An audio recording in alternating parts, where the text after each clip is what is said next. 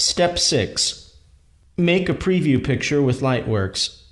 Click on the Preview Picture button. The Preview Picture window opens, which is currently empty. This may prevent other users from finding this window in the Library Part browser. In the previous lessons, we've shown you how you can copy an existing image into the Preview Picture window. Now let's make a nice preview image with the Lightworks rendering engine.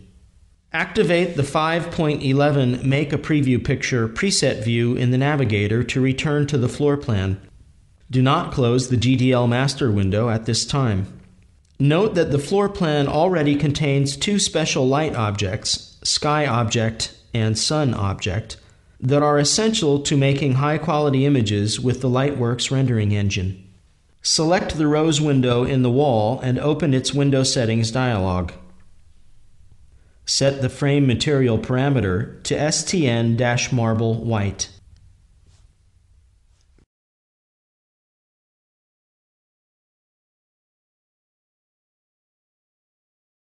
Click OK to return to the floor plan and deselect the window.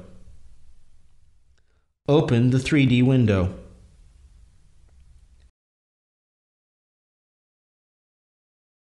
Activate the View 3D View Mode, 3D Window Settings command.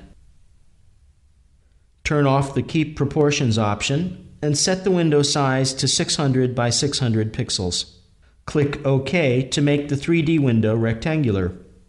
Using the Orbit or the Explore functions, set your preferred camera position for the preview picture. Let's adjust the photo rendering parameters to get a nice rendered image. Activate the document Creative Imaging, Photo Rendering Settings command. Modify the rendering parameters as follows.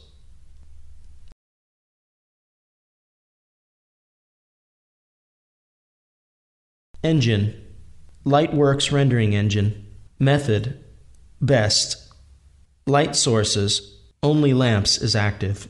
Effects, all turned on. Shadow casting by lamp settings. Shadow resolution by lamp settings. Background Sky and ground color is black. Close the photo rendering settings dialog with OK.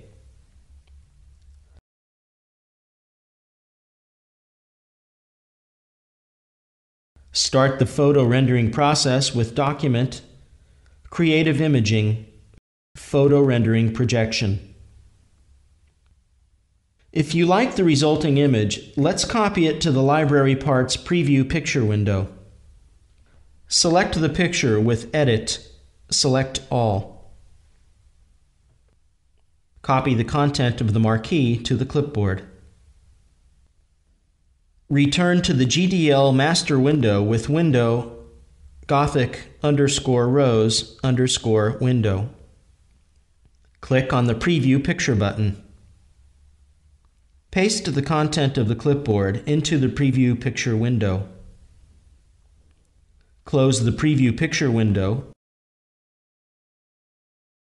and save the changes. Close the GDL master window to return to the floor plan. Back on the floor plan, select the rose window that is placed in the wall. Now, open the Window Settings dialog. Note that the object is now displayed with its preview picture in the Library Part browser. The parameter list contains only the frame material parameter. If you change it, the selected Windows mullion material will be updated.